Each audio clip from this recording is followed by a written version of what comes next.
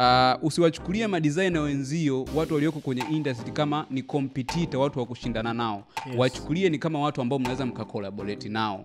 Hakuna client hakuna bosi hakuna mwajiri yeyote ambaye yuko tayari kuhaya designer kwa ajili ya kumsaidia kama msaada. Designer unaajiriwa au unapewa kazi ili uweze kuadd value au kutatua tatizo ambalo client analo. Wakati wewe unalalamika kwamba hupati kazi kuna madesigner wengine wana kazi mpaka hawajui kwa kuzipeleka kwa maana inafika mahali wanakuwa busy mpaka wanakata kazi. So lazima ujiulize kwamba wewe unakosea wapi kwa ukimwambia yule mteja kwa mfano mimi nikamwambia bwana mteja hii- mimi hiyo logo nitakuchaji milioni moja tayari yule mteja atakukimbia na ataona hauko serious Yeah. lakini kuna namna ya kuweza kumweleza mteja na kumfanya mteja aone kwamba ile milioni moja kweli ni worth na akiilipa atapata value anayotaka Oh yes, kwa majina naitwa Onesmo Chambogo toka Joel Media. Yes, leo nipo na Joel Kadaga, yeye atatuambia kwa nini watu wengi wanalalamika kwamba kazi za graphic design ziko chache.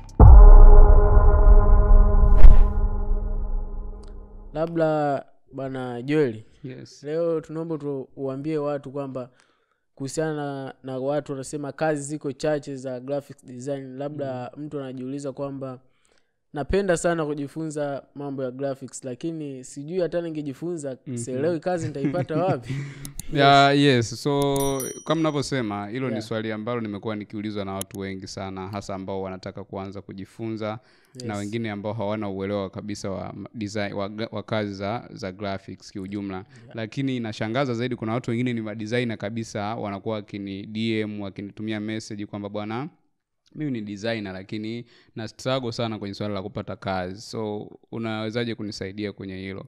So ni common issue ambao unakutana nayo. Yes. so yes nataka tu, tueleze kwa upana kuhusiana na hiyo kitu basically kama ambavyo uh, umeweza kuiuliza. Uh, kwanza kabisa mimi nataka niseme kitu kimoja na mtazamaji we unayetufuatilia nataka ujue kwamba hakuna client hakuna bosi hakuna mwajiri yeyote ambaye yuko tayari kuhaya designer kwa ajili ya kumsaidia kama msaada. Designer unaajiriwa au unapewa kazi ili uweze kuadd value au kutatua tatizo ambalo client analo. Kwao bwana onesimo ni kwamba mteja yoyote akikutafuta akikwambia anahitaji umfanyie kazi fulani hahitaji wewe um, hahitaji kukupa msaada yani hayuko kwa ajili ya wewe kuku- kuku- kukufanyia charity. Anahitaji wewe add value ili akulipe. Yes. Likewise hata ukitoka saizi ukapeleka cv yako sehemu yoyote ofisini ukamwambia mtu na bwana naomba kazi. Yule mtu akikupa kazi haina maana amekusaidia kutokana na shida zako pengine ulizomweleza ameona value kwamba kuna kitu unaweza ukakiadi sasa hicho ndo kitu kikubwa ambacho designer anataka invest katika kuhakikisha unakitengeneza kwenye karia yako ili uweze kuwa hired. Sasa watu wengi wana struggle sana kwenye hicho kipengele Yeah. eh, na wanajikuta hawawezi kupata kazi. By the way kuhusiana na hicho hilo swala mimi nimesha upload video nyingi sana kwenye hii channel na nimekuwa nikielekeza mara nyingi kwamba vitu gani ambavyo vinaweza vikakufanya huku kusaidia uweze kuwa designer mzuri kuanzia kwenye technical skill intellectual mpaka kwenye marketing kwa maana uweze kujua namna gani ambavyo unaweza ukawa hired.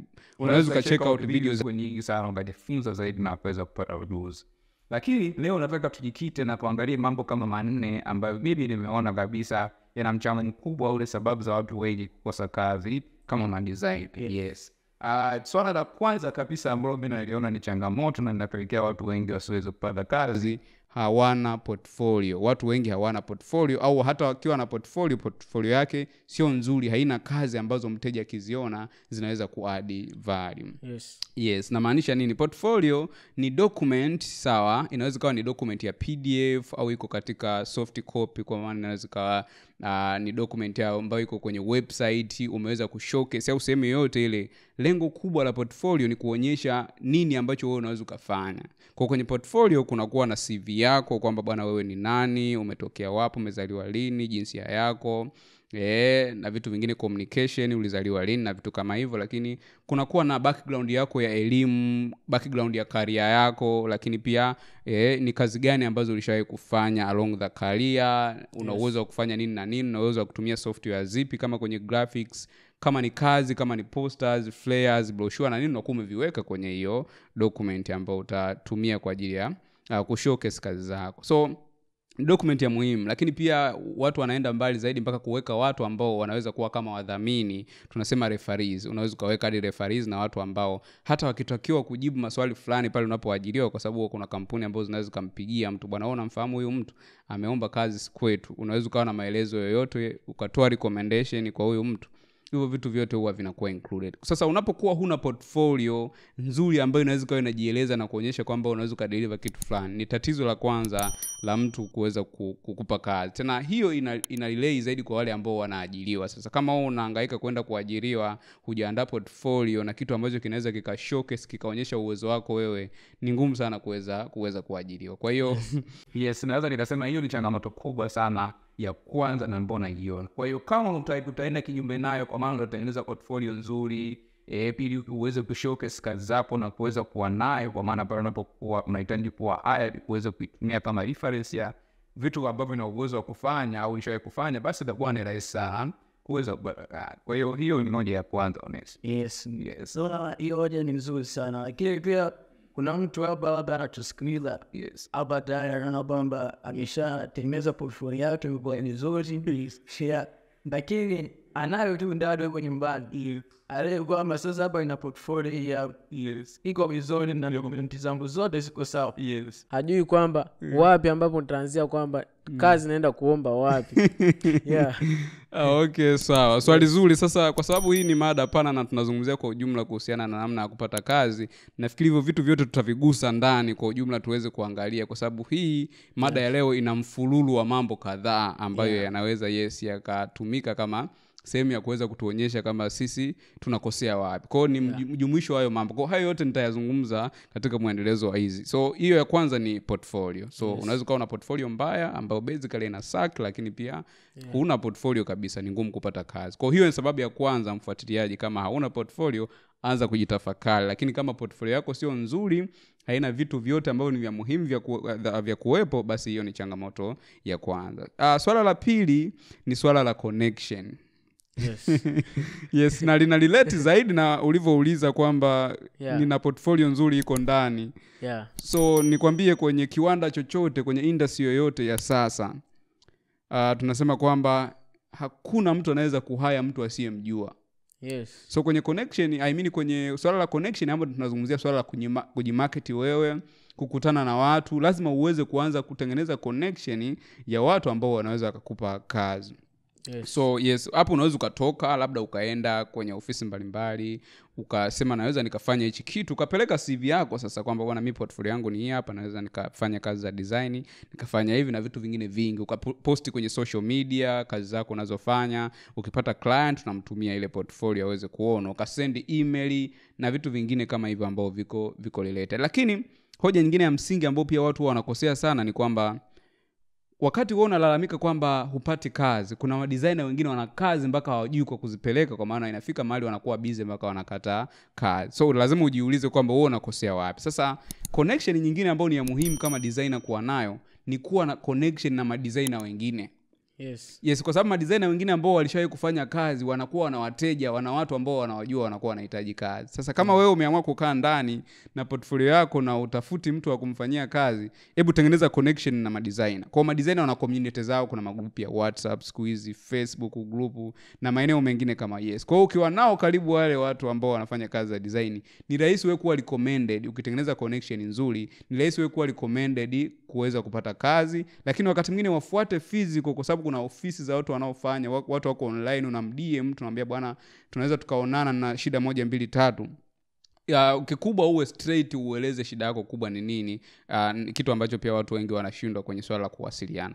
Kwa hiyo kikizingatia hicho utafanikiwa kupata kazi. Kwa hiyo pointi ya msingi hapo ni kwamba uh, usiwachukulie madesigner wenzio watu walioko kwenye industry kama ni competitor watu wa kushindana nao Yes. wachukulie ni kama watu ambao mnaweza mkakolaboreti nao Yeah. kwa sababu creative industry ni industry ambayo ni industry, ni industry ambayo inatakiwa mfanye collaboration kwenye kazi fulani ili muweze kuexecute kwa mfano sisi tunafanya film making.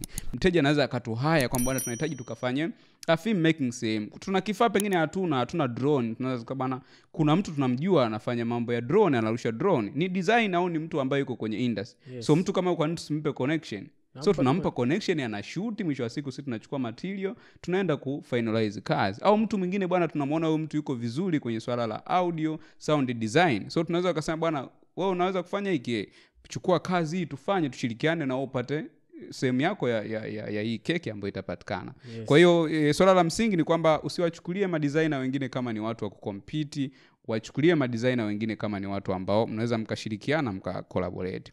So hiyo ni hoja ya pili ya swala la uh, la la Uh, connection. Connection. yes, Yes. au marketing kwa ujumla so hizo ni pointi mbili ambazo tutaendelea kuzichimba Yeah, yes. mi point pia naiona ni nzuri sana yes.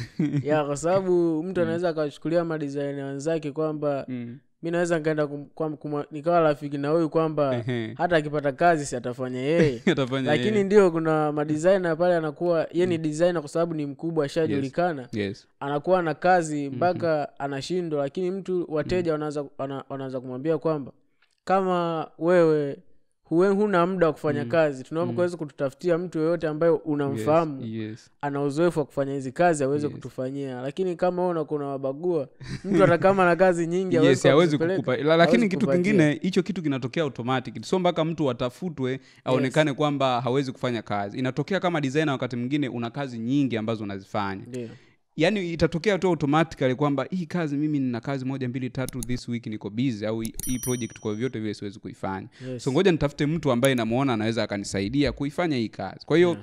basically mtu huwa anaanza kuwakumbuka watu ambao anawasiliana nao mara kwa mara au yu- yuko nao kwenye connection yao au kwenye seko yake sasa Yes. kama wewe hauna connection na madesigner utapata wapi hiyo opportunity ya kukumbukwa na mtu pale ambapo anakuwa na project nyingi so inakuwa ni ngumu hapo inakuwa ni ngumu yes hata- it is not yes. about what you know it is about who you know we unamfahamu nani ndo itakao kufanya upate kazi yes. Yes. hapo nadhani pointi mm-hmm. wanaotuangalia hapo watakuwa wameelewa vizuri yes, yes, yes, na yes. wanakuwa wanaenjoy labda tuendelee na pointi yetu ya tatu okay kuwapa madini yes of course point ya tatu ambayo nataka nieleze mfuatiliaji um, wa vipindi vyetu ni kwamba hii inakuwa related zaidi na kwenye swala la kutengeneza portfolio kwa sababu Yes. mtu mwingine anaweza akawa anajiuliza huko mbele mwanzo kwamba ulizungumza kwamba portfolio natengenezaje portfolio sasa kuna kitu kinaitwa law of reciprocity yeah. yes law of uh, reciprocity ni sheria ambayo imekaa katika mlengo wa kwamba ili mtu uweze kupata kitu lazima uweze kuadd value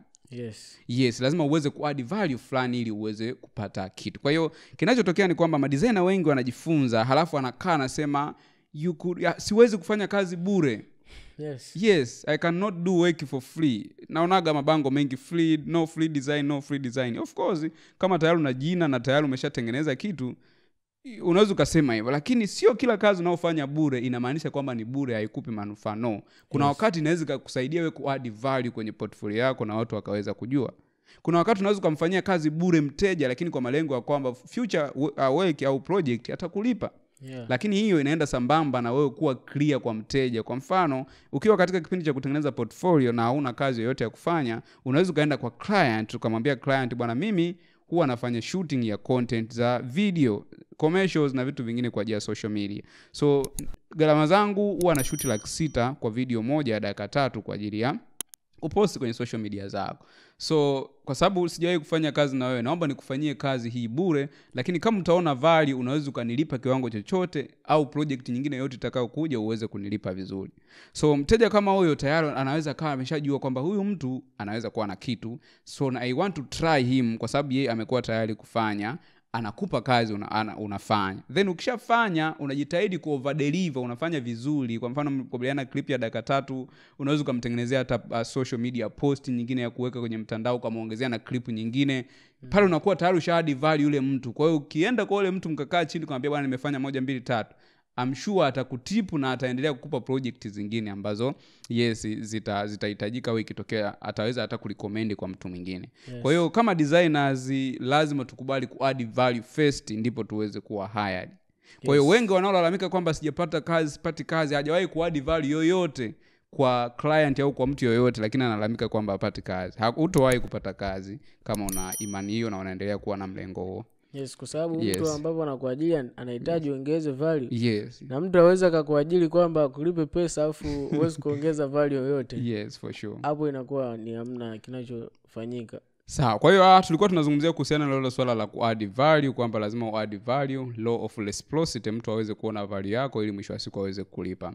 Uh, pointi ya nne na ya mwisho ambayo tutaizungumza leo kwamba kwa nini watu wengi hawapati kazi uh, ni swala la poor communication. Watu wengi sana hawawezi kuwasiliana. Yes. na hilo ni tatizo kubwa sana la madisaina wengi. Na nilishawai kusema katika video moja ambayo nilieleza kwa, kwa, kwa kiasi kikubwa. Kuna video moja nilieleza kwamba unahitaji degree diploma au elimu gani ili uwe designer? Yes, yes. nilishaeleza kwa upana sana na nikasema hicho kitu. Naweza ukaitazama hiyo video pia itakuongezea vitu vingi na ambavyo vitakuwa na mchango mkubwa kwako kwenye karia so uh, napozungumza kuhusiana na swala zima la kwamba watu wengi hawawezi kuwasiliana. Of course ili mteja ili muweze kuclose deal na mteja na client lazima uwe na uwezo wa kumshawishi na aone kwamba wewe ni mtu sahihi kumbuka kwamba madisaina wako wengi. Na client huenda ameshatafuta madisaina kadhaa. So madisaina pia I mean, client pia huwa wanafanya window shopping. Yeah. anaamua kutafuta designer wa kwanza wa pili anakuwa anauliza bei. Kwa hata akija kwako anakuwa na bei zake ambaye ameshazipata anakuwa tayari na vitu anavyovitaka na ameshaelezewa. Kwa hiyo namna wao unavyomwelezea mteja namna utakavyomsaidia kutatizo, uh, kutatua tatizo lake Yes.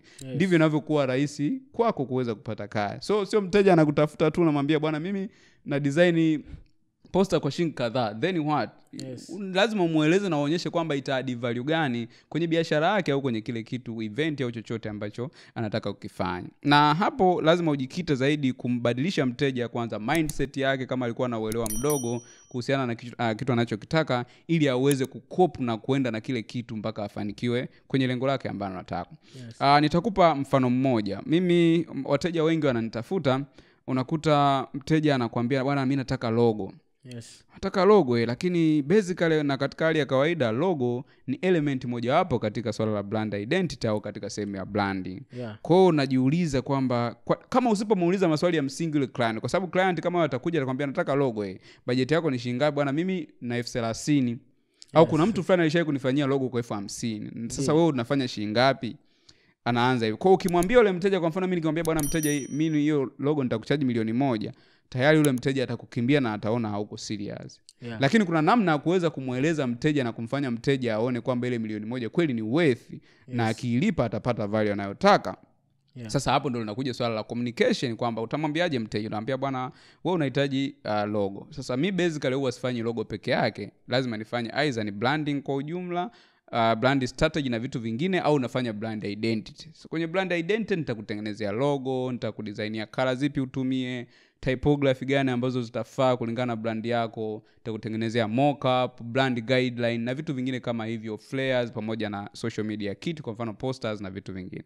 So ukimweleza mchanganuo huo na process zote ambazo utapita designer ukamwambia bwana huu mchakato mimi utatumia two weeks kuhakikisha unakamilika na tutapata kitu kizuri tukishauriana mimi na wewe ni rahisi mteja kuanza kuelewa kwamba kweli huyu anaweza kawa ni mtu sahihi wa kufanya naye kazi. Kwa hata ukimwambia bwana itabidi unilipe milioni moja unilipe laki tano au laki tatu anaanza kurizon kwamba kwa kazi hiyo anayoifanya kwa mlolongo huo anaopita na namna anavyoniahidi kwamba itaadi nini kwenye biashara yangu basi huyu ni designer na mtu sahihi kuweza kufanya naye kufanya naye kazi. Kwa hiyo hivyo yes. ndivyo yes communication inavyokuwa powerful katika kufanya uweze kuwa hired au kupata kazi kama designer Yes. yes. Kwa hiyo ni kitu cha muhimu sana designer kuweja, uh, kuweza kuwa na communication skill nzuri ya kuelewa. Na hivi vitu vipo you have to learn. Hata kama wewe unasema bwana mimi sijaenda shule au sijawahi kuvijua. No unajifunza jifunze kutoka kwa wengine. Ndio maana katika kujifunza tunashauri kwamba lazima utafute mentorship lazima utafute watu ambao wanaweza kawa na kuongoza mtu ambao unaweza ukamuuliza along the way katika path yako ili ufike pale ambapo unataka. Kwa hiyo hicho yes. ni kitu cha msingi. So bahati mbaya zaidi unakuta madisaina wengi amejifunza zake tutorial za youtube amejifunza huko amemaliza basi naye anajiita designer. So kuna magep mengi ya knowledge ambayo anakuwa nayo yanayomfanya yeye asiweze kupata kazi kirahisi na linakuwa janga la watu wengi katika industry. Subscribe katika channel ya Joe Media Group. Bonyeza makengele kama hujafanya hivyo lakini kwa yule anahitaji kujifunza mambo ya graphic design video editing pamoja na filmmaking kwa undani zaidi anaweza akatembelea website yetu ya www.jolmediaeducation.com akajifunza mambo mengi sana kuhusiana na graphics design video editing pamoja na filmmaking course. Video zetu zimetengenezwa katika mtiririko mzuri. Mtu ambaye ni bigina kabisa hata yule ambaye anauelewa kiasi katika maswala haya anaweza akajifunza kozi zetu yes uh, kama uh, onesmo alivyoeleza kwamba kupitia Yes. website yetu ya Joel media education kuna kozi nyingi ambazo unaweza ukajifunza lakini mimi nitapenda niwape free kuna zawadi yenu kwenye platform hiyo kuna kozi ya bure kabisa ya hatua tano za kujifunza graphics kwao kama unaanza kabisa ni beginner haujui ni wapi kwa kuanzia kuna kozi hiyo ya bure unaweza ukaenda ukatazama hatua zote hizi ambazo tulikuwa tukikizieleza hapa baadhi. Utaenda kuziona huko ni hatua zipi upite ili uweze kuwa designer mzuri na baadaye uweze kulipwa vizuri katika karia hii ya creative. Lakini usichoke kujifunza endelea kujifunza toka kwetu. Kwenye chaneli hii kuna video zaidi ya mia mbili hamsini ambazo zinaweza kuendelea kukusaidia wewe kukua kwenye karia na kufika mbali zaidi kama designer. Jina langu naitwa joeli. See you next time